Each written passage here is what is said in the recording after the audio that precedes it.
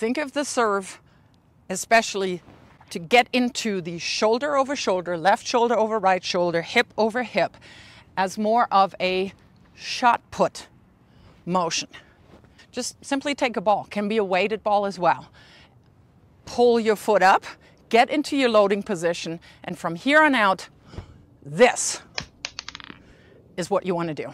And yeah, just minus the letting the ball drop on your head.